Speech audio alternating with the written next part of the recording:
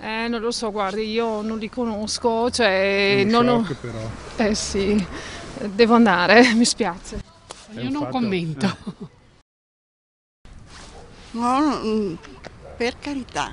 La notizia ha colpito chiunque incontriamo oggi a Marano. Davvero non se l'aspettava nessuno. I vicini dicevano proprio che non si aspettavano, cioè non, non facevano pensare Ma le nessuno persone. lo diceva, che sappia io, che senta, perché il poco che sa nessuno diceva una cosa del genere.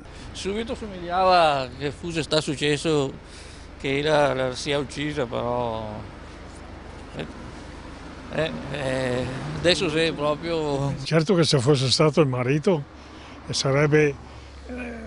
eh, sono cose... non capisco più niente. Sono notizie che ti lasciano sempre sbalordito perché dici ma eh, quel signore là o quella signora là l'ho vista l'altra settimana o cosa, mi sembrava tranquilla e dopo si sentono queste cose qua. Qualcuno tenta di razionalizzare e dare una spiegazione. Sei talmente tirato tra conti, cose da pagare, che la gente arriva a un certo punto che non perde la testa, cioè non, non riesce più a stare nella realtà.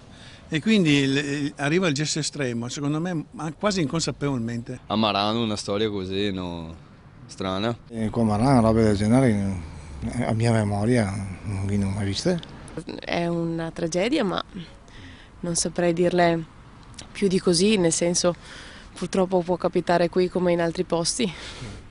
Non è che ci, ci tocca di più o ci tocca di meno, ci tocca comunque. Un pensiero poi viene rivolto alle figlie della coppia. Le condoglianze per i familiari più che altro, perché è una cosa, sì, non ti aspetteresti mai.